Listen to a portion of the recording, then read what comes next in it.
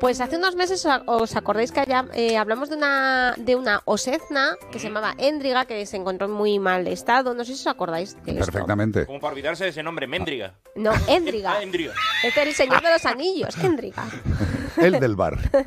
Bueno, pues hace apenas unos días, eh, pues leí en, en prensa, vi un vídeo que además os lo mandé en el grupo de WhatsApp, porque tenemos, todos tenemos grupo de WhatsApp para todos, nosotros también tenemos el nuestro propio en el programa, Sí, y os puse morir de amor, fue el comentario que puse, y puse el enlace al vídeo. totalmente. Y bueno, pues eh, se veía esta osa, pues ya muy recuperada. Es, es un es una imagen de una cámara ubicada en el, en, en el bosque donde la, donde la tienen, en el, en el espacio en el espacio donde la tienen y eh, se la veía pues comiendo frutos y la verdad es que bastante bien. Haciendo cosas de oso. Haciendo cosas de oso, que lo que tienen que hacer los osos es de estar encerrados en ningún lado. Lo raro sería que estuviera haciendo la declaración de la renta. Pero vamos, si estaba haciendo eso es lo, lo normal y lo deseable.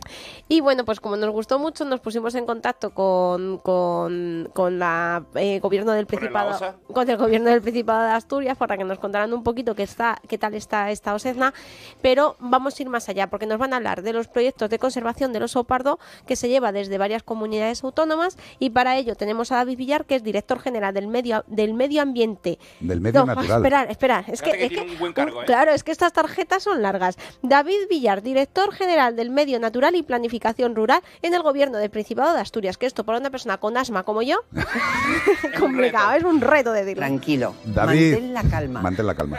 David, buenas tardes. ¿Qué tal? Muy buenas tardes a todos y a todas. ¿Qué tal? Sí, el nombre es largo, ¿eh? El nombre es muy largo, pero el sueldo es uno solo. Ah. Penséis. No os penséis. Y, Sí, genera- y generalmente no tan largo. No, no, exactamente. Oye, David, gracias, gracias por estar con nosotros esta tarde y, y poder charlar de lo que nos gusta, que son los animales, la vida en libertad de estos seres maravillosos. Y, y en primer lugar, lo que hacemos siempre, y lo hacemos de corazón, que es daros las gracias a todos los que intervenís de una u otra forma, con mayor o menor responsabilidad, en que, en que sigan entre nosotros. Eh, eso es maravilloso, tío. y hay que Gracias a vosotros, por- gracias a vosotros por la oportunidad. La verdad que coincidimos en, en- en el objetivo, en, en el objetivo que tenemos entre todos es que esta, este ejemplar o esta especie que se recupere y que vuelva a ser el símbolo que siempre fue, incluso en Madrid, ¿no? Con el escudo que, que está Claro. presente. Mu- Esto, esto hay que hacerlo extensivo a más, a más sitios. Sí. Tú, tú imagínate ahí en mitad de la Puerta del Sol unos osos ahí diciendo qué bien, qué bien ha salido el tío Gerardo en la, en la, en la figurita esta, eh, al lado del madroño, qué bien está el tío Gerardo. Pues digo yo que si, que si el emblema es el oso y el madroño sería porque en Madrid antiguamente habría también osos, ¿o no? No lo sé, ¿eh? pregunto desde mi desconocimiento. Bueno, aquí, aquí sabéis ¿eh? que está, está presente en un, en un escudo de, de un ejemplo aquí también, en una iglesia además, de, de una escena además histórica de que, se, que mató un oso a- al hijo de un rey, a un hijo de un rey de un nuestro. Sí. Y bueno, eh, era extensivo a toda la península, sí, la presencia aquí de oso cantábrico, de oso pardo era general, sí. ¿Pero comen Totalmente. madroño o eso es una, una leyenda? Lo del madroño, sabéis, como sabéis, aquí los llamamos borrachinos a, a los frutos del madroño. Sí. No creo que se pongan a comer muchos. Al final tiene un efecto no deseado, ¿no? Que Claro, se no. sube la concentración etílica. Claro, al final, Al final, sería, el- sería el tú imagínate un botellón de osos pardos, tío. Eso, eso tiene que ser. No voy a hacer Cualquiera comparaciones, que la gente está muy sensible, David, pero, pero bueno. Oye, ambiente, ambiente raro, sí, sí. bien. Totalmente. ¿Qué te iba a decir? Entonces, Endriga eh, está bien, está bien, está viviendo, lo cual ya es bastante importante en un país en el que parece que, que- que nos molestan los seres vivos que estaban desde antes que nosotros, no sé.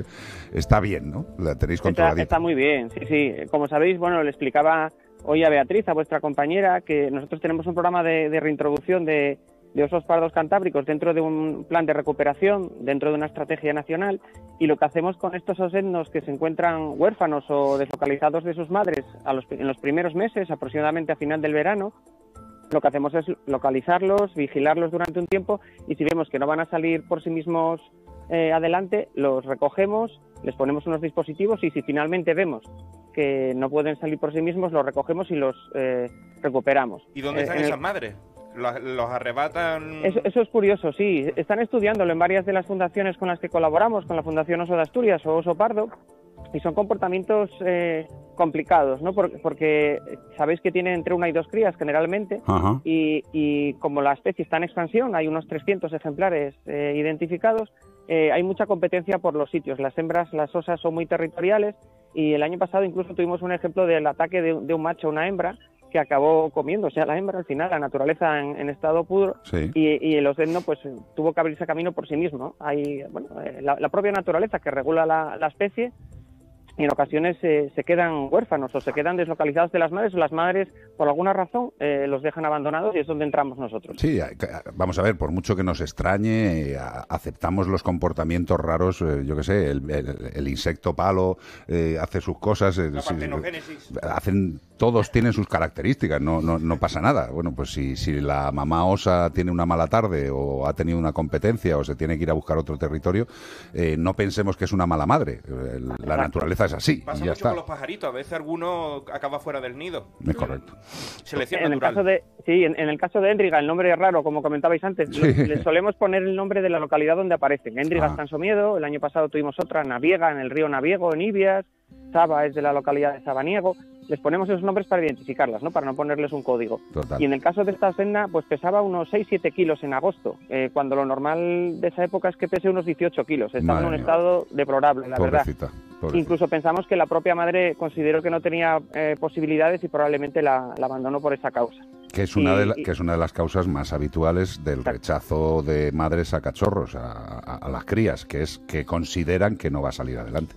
Aunque luego vosotros, que- aunque luego vosotros hagáis que se equivoquen. Bueno, al final hacemos un pequeño milagro ahí entre todas las comunidades, entre todos los técnicos, veterinarios, los guardas de medio natural, pero la verdad que la encontramos en un estado muy, muy, muy negativo. No pensábamos que iba a sobrevivir. La estuvimos en un hospital varios días, tenía lesiones cutáneas, tenía deshidratación, tenía incluso lo que los veterinarios decían como un principio de sarna.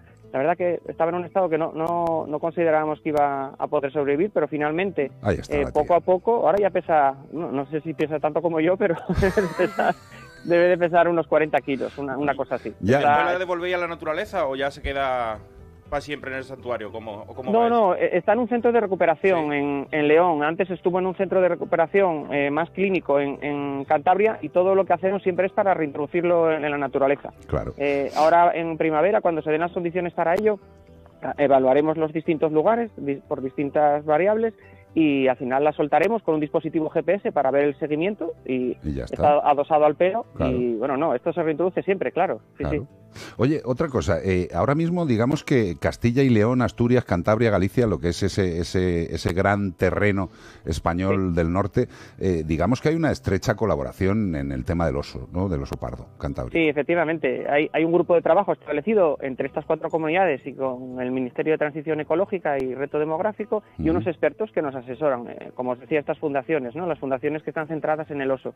Y la verdad que gracias a esa colaboración se toman acuerdos, se establecen unos protocolos y pese a que la población de oso está en expansión y puede haber en algunos casos con algún ejemplar eh, joven o, o mu- muy aventurado que se, que se acerca a los pueblos, la verdad que estábamos teniendo una respuesta de la sociedad perfecta, muy, muy eh, adaptada además, lo, lo consideran como un recurso, como un valor y la verdad que la colaboración es magnífica, ya te digo, da igual de dónde salga el oso, lo cuidamos entre todos, eh, se ser. reintroduce donde sea, la verdad que estamos muy, muy satisfechos, sí. Oye, David, eh, tenemos poquito tiempo porque vamos Sí, sí, flechados. que me enrollo. No, no, no, no, no te estás enrollando. Da gusto escucharte, da David. gusto escucharte, tío, que leches, te vas a enrollar.